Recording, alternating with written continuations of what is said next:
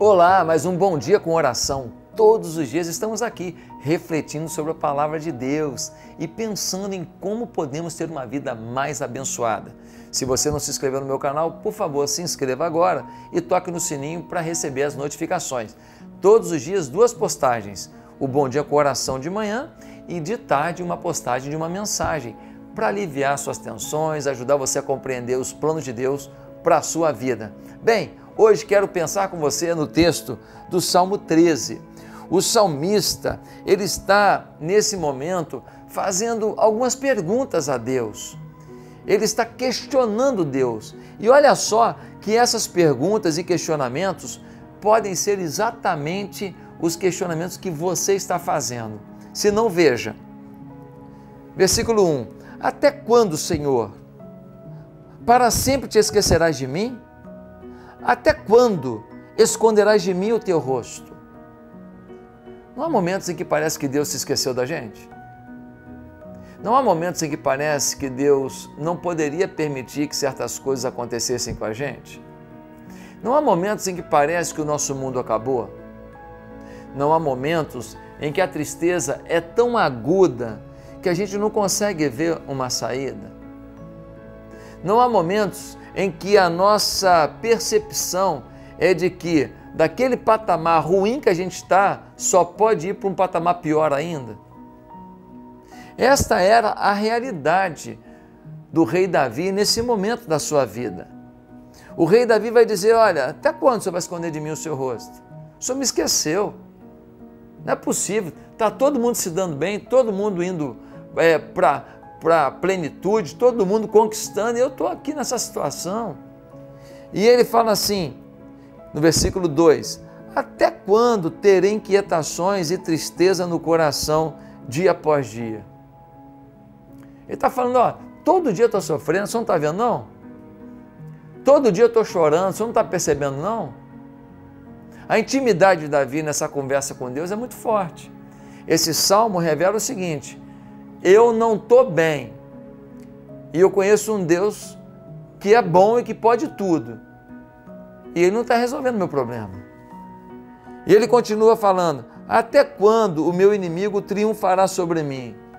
Davi está no momento que ele fala assim: está todo mundo conseguindo, só eu que não. As pessoas que me odeiam estão prevalecendo e eu afundando. Não é assim que a gente se sente às vezes? Trabalha alguém com a gente no trabalho e parece que está tudo dando certo para ele, e para a gente parece que está tudo dando errado.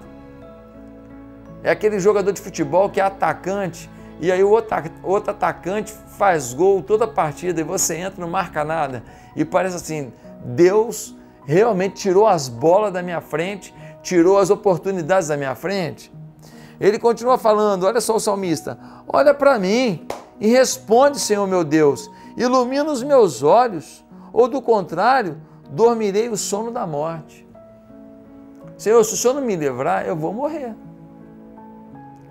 Se o senhor não resolver esse problema, eu não sei o que vai ser de mim.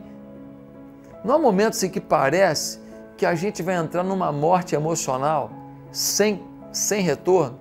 Não há momentos que parece que a gente vai entrar numa dor emocional que vai levar a gente a uma depressão, a uma crise de ansiedade, a um pânico, a um desespero que parece que não vai ter jeito.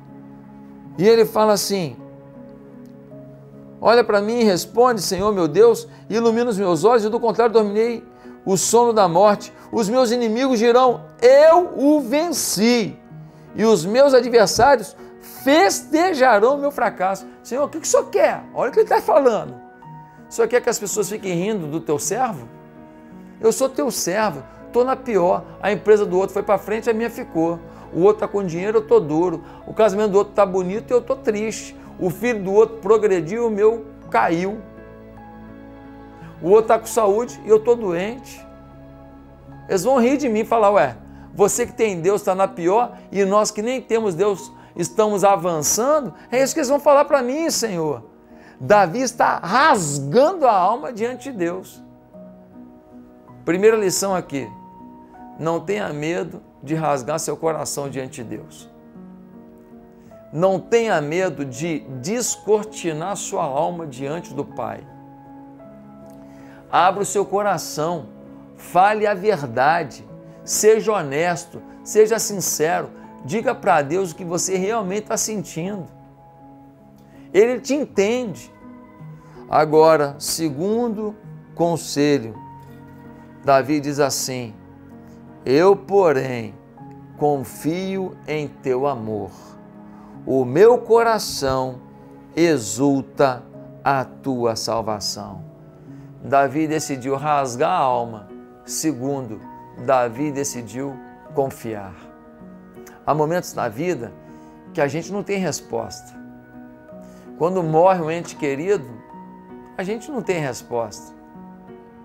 Há momentos na vida que a gente não tem explicação.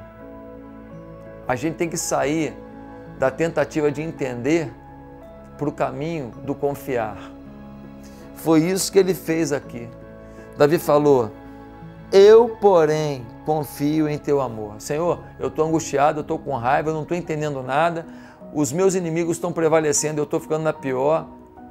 Eu, porém, confio no teu amor. Senhor, apesar de estar sentindo tudo isso, eu quero dizer uma coisa para o Senhor: eu confio no Senhor.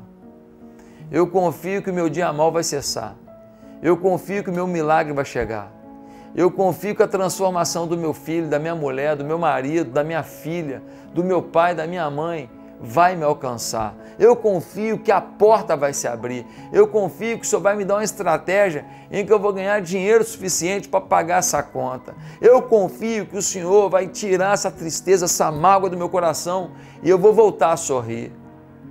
Pois bem, dois conselhos fundamentais para você hoje. Primeiro, rasgue o seu coração, abra o seu coração para Deus, sem medo de falar o que você está sentindo. Segundo, apesar de estar sentindo isso, confie de todo o coração. Deus continua sendo bom, Deus continua te amando, Deus continua tendo planos para a sua vida. Só depende agora de você andar nos trilhos do Senhor, nos caminhos do Senhor, para que você encontre e descubra a profundidade desse amor. Que Deus te abençoe. Vamos orar? Senhor, muito obrigado por mais um bom dia com oração. Leva-nos para os nossos afazeres debaixo da tua proteção. Senhor, se tem alguém enfermo nesse momento, traz cura. Alguém endividado, traz provisão. Alguém triste, traz a alegria. Alguém sem saber como te servir melhor, traz, ó Deus, uma visão ministerial. Pai amado, supre cada um de nós nas, suas, nas nossas necessidades, nas nossas angústias, nas nossas carências. Vem com o teu poder sobre nós, em nome de Jesus. Amém. Querido, que prazer estar com você em mais um bom dia com oração. Me ajuda a falar isso para todo mundo. Esse vídeo de hoje foi legal? Você gostou? Dá um like para mim aí, dá um like. Não gostou? Dá um dislike. Tá certo? Clica aí, dá um dislike. Mas por favor, me ajuda a falar para todo mundo de Jesus. Por favor, copie esse link e manda para todo mundo que você conhece. Eu conto com você para isso. Que Deus te abençoe. E até amanhã com mais um bom dia com oração. Fique na paz. Oi pessoal, é com muita alegria que nós estamos gravando esse vídeo para vocês. Esse curso incrível do pastor Josué Valandro tá maravilhoso, com temas incríveis que eu tenho certeza que vai abençoar muito a vida de vocês. É muito importante nos dias de hoje, você que está vendo esse vídeo tem ansiedade, tem depressão, é, medo, uma série de sentimentos que levam as pessoas a não conquistarem, a ficarem com a mente bloqueada. E eu fiquei muito feliz quando o pastor Josué Valandro falou que preparou 22 vídeos incríveis que formam um curso para ajudar pessoas. Tem segredos poderosos ali que vão te ajudar a ter uma vida excelente, uma vida abundante e também para se libertar de sentimentos muito ruins. Então nós indicamos esse treinamento do pastor José Valando. Fica aí a nossa dica, pessoal. Um beijo, Deus abençoe vocês. Forte abraço.